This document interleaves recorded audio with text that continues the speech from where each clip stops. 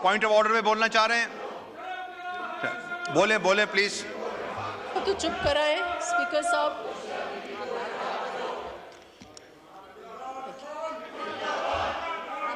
बोलू?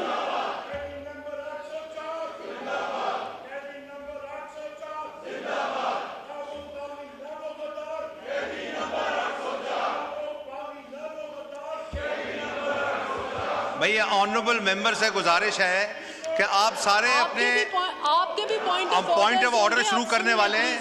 आप तशरीफ़ रखें अपने पॉइंट ऑफ़ ऑर्डर पे बात करें। प्रोटेस्ट हो गया रजिस्टर भी हो गया। थैंक यू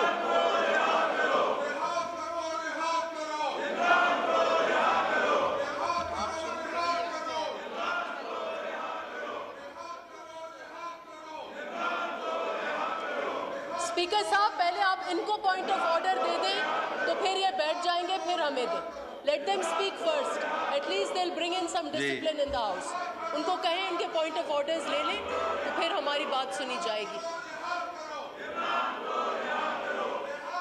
डोगर साहब।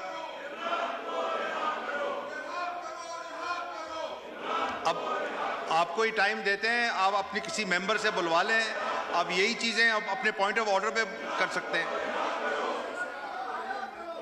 कौन? तो आप इमरान न्याजी साहब को माइक देते हैं ना। जी, इमरान न्याजी साहब ऑन पॉइंट ऑफ़ ऑर्डर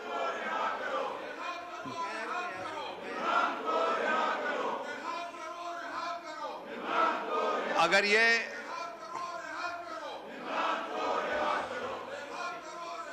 फिर ये सेंस ऑफ़ द हाउस ये है कि हाउस को एजर्न कर दें। तो फिर हम हमें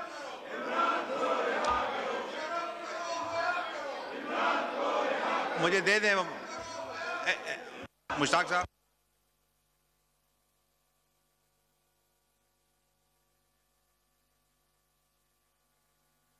अदा होगी जी कि एहतजाज ज़रूर रिकॉर्ड करवाएँ। आपकी माशाल्लाह नशस्तें मौजूद हैं। नशस्तों पे भी बैठ के बात करें। यही बात जो है, वो डाइस के अलावा भी हो सकती है। और मैंने शुरू में अर्ज़ किया था, अगर ये ख्याल हो हमारा कि ये फोरम जो है ये अदालतों से ज़मानत हासिल करने का या रिहाई हासिल करने का फोरम है तो हम सारे मिस्टेकन हैं इसमें। वो लड़ाई वहीं पे लड़ी जाएगी जहाँ पे कानून और आइन कहता है, वो दलील से होगी, वो केस के रिकॉर्ड से होगी। हम खुद इसमें से गुजरे हैं, बाकी लोग भी गुजरे हैं। उसके लिए मैं फिर एक दफ़ा ये इस्तदा करूँगा कि हमें मैंडेट इस बात का नहीं मिला है कि फ्लोर ऑफ़ द हाउस को हम लेजिस्लेशन और अवामी अहमियत के मामलात आवाज़ उठाएँ, फिर उन लाखों लोगों के लिए भी जिनके केसेस डिलेड हैं जुडिशल सिस्टम के रिफॉर्म करने के लिए भी, अदालती निज़ाम में मुकम्मल असलाहत लाने की, कवानीन में तरामीम करने की, जो कि हम बहुत सारे सालों से सोच रहे हैं, कर नहीं रहे और मैंने आपको इसीलिए दावत दी है, आए बैठे हमारे साथ, और जो कानूनी असलाहत अदालती असलाहत है, उन पर काम करें। आप फ्लोर ऑफ़ द हाउस पे बोलें, अपना मुकदमा सामने रखें, लेकिन मेरी ये गुजारिश और इस्तः होगी कि रिहाई और ज़मानत के मामलात अदालत से मुतलका हैं। कुछ लोग सजा याफ्ता हैं कुछ लोग अंडर ट्रायल हैं। वो अदालत जो फैसला करेगी उसकी अपील मौजूद है आप उसको करें। पॉइंट आ गया। और ये बात अगर ज़्यादा बढ़ेगी तो इसी ऐवान से लोगों को उठाया गया था। यहाँ पे तो वो टाइम भी आया कि पंद्रह पंद्रह किलो हेरोइन भी डाली गई लोगों पे। उन्होंने भी अदालतों से ही जाके अपनी अपनी रिहाई मुमकिन बनाई है। थोड़ा चले चले अभी नफीसा शाह साहब आपको दिया था फ्लोर उसके बाद इमरान न्याजी साहब नफीसा शाह साहब के उमेर सॉरी। बहुत शुक्रिया स्पीकर साहब।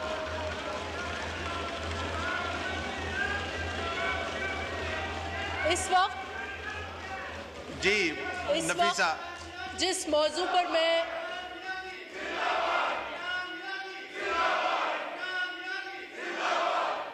थैंक यू जी, नफीसा शाह मैं जिस मौजू पर बात करना चाह रही हूँ वो अ, इस मुल्क के लिए इस मुल्क की फ़ूड सिक्योरिटी के लिए इस मुल्क की मीशत के लिए बहुत अहम है मिस्टर स्पीकर जनरली हम सबको पता है कि पाकिस्तान की जो मीशत है उसकी रीढ़ की हड्डी कहें उसकी बुनियादें कहें वो ज़रात है।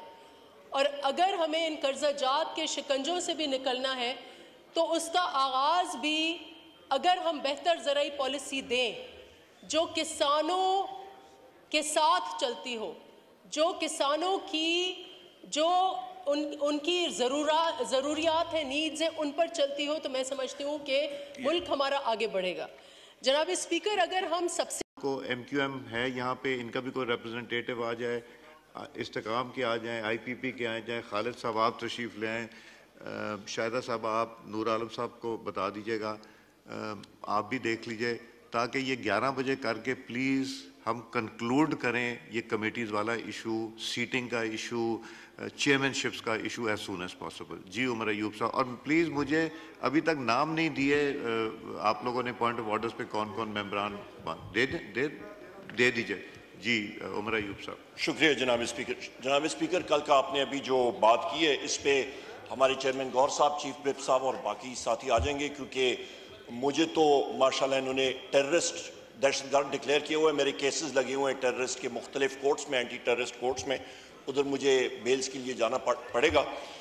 दूसरी अहम चीज़, जनाब स्पीकर इस बिल के हवाले से मैं बात करूँगा कि इसको आप सर इनफॉर्मली ना लें स्पीकर साहब। फॉर्मल प्रोसेस पाँच दिन, दो हफ़्ते डिले हो जाए, पर formal process finance and revenue की कमेटी में ज़रूर डालें। रिकॉर्डिंग होगी सही काम होगा, मुख्तलिफ़ लोगों को बुलाया जाएगा एक्सपर्ट्स को बुलाया जाएगा। यहाँ से भी हमारे लीगल साथी मौजूद हैं, उनका इनपुट आ जाएगा, कोई बेहतर चीज़ आएगी। हम लोग चाहते हैं कि मुल्क के लिए काम किया जाए। हर जगह से यहाँ पे पीपल्स पार्टी के लोग हैं कॉलीग्स हैं, वो वो अपनी इनपुट दे सकेंगे, बाकी पार्टियों के आएँगे तो प्रॉपर प्रोसेस आएगा।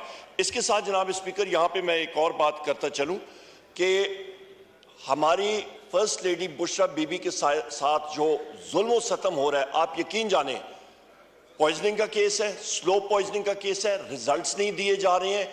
उनको परसों रात भी एंबुलेंस गई, वहाँ पे हम में से किसी को नहीं मालूम हुआ, जेल अथॉरिटीज गई हैं। एंबुलेंस रात को जा रही है डॉक्टर जा रहे हैं चेक हो रहा है, वापस आ रहा है रिजल्ट्स का नहीं पता चल रहा। जनाब स्पीकर ये क्या हो रहा है? मतलब न कोर्ट्स पे सुनवाई हो रही है, ना कहीं और हो रहा है। और वो रिजल्ट्स दबाई जा रहे हैं। स्लो पॉइजनिंग का केस दूसरे एक्सपर्ट्स क्लियरली बता रहे हैं कि उनको पॉइजन दिया गया है।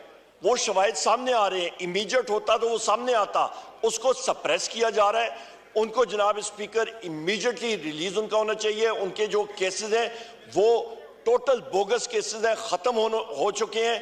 हम लोग इन चीज़ों को कंडेम करते हैं जनाब स्पीकर बुशरा बीबी के साथ जो जुल्म सितम हो रहा है उसको हमारी सारी पार्टी जो है वो कंडेम करती है। हम लोग नहीं टॉलरेट करते हैं। उनके साथ मैं फिर रिपीट करता हूँ। शवाहिद आ चुके हैं। स्लो पॉइजन के शवाहिद आ चुके हैं।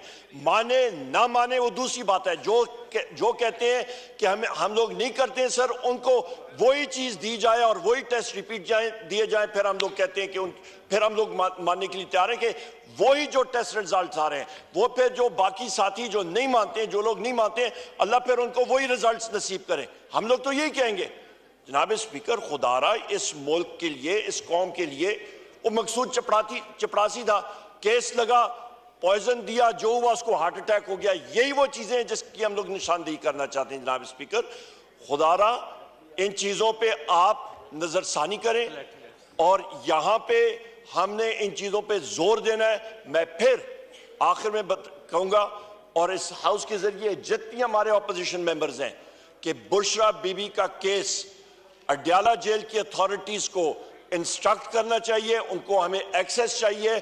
शौकत खानम के डॉक्टर्स के ज़रिए एक्सेस होना चाहिए। प्राइवेट हॉस्पिटल जिस पे हम पे हम पे एतबार है, उनके ज़रिए मतलब हमें एक्सेस होनी चाहिए।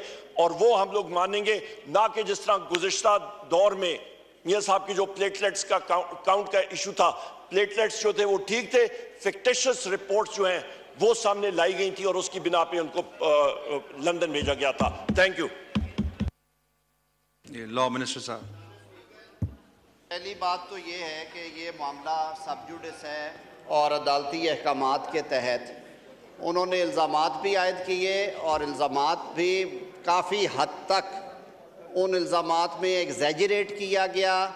उन, वहाँ कहा गया कि पॉइजनिंग करवाई गई और मुल्क के मौकर इदारों के सरबराहान को उसमें उंगलियाँ उठाई गई।